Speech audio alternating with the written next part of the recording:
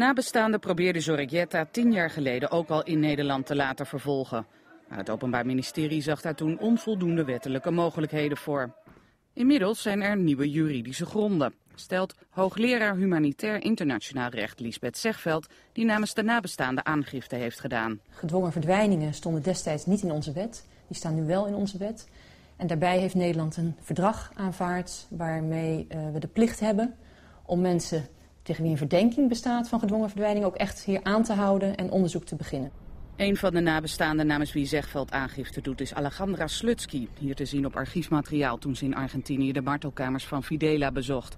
Haar vader verdween in 1977. Jorge Zorrigueta was toen staatssecretaris van Landbouw en werd later minister in de regering van Fidela. In die tijd verdwenen duizenden tegenstanders van het regime. In Argentinië wordt nu jacht gemaakt op de schuldigen, maar Zorrigueta wordt daar niet vervolgd.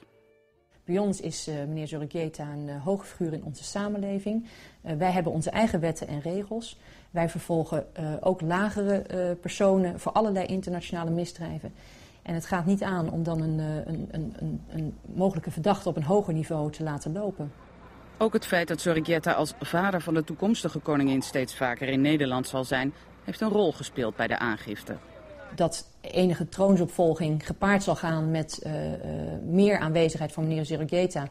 Dat moet wel aangenomen worden. En dan zeggen we nou, de aanwezigheid van een persoon op Nederlands grondgebied is mede bepalend voor de plicht van Nederland om daar iets mee te doen. Het is niet zomaar meer een voorbijganger. Jorge Zorrigueta heeft altijd ontkend destijds iets van die verdwijningen te hebben geweten. In 2001 verklaarde hij dat zelfs ook onder Ede voor een Argentijnse rechter.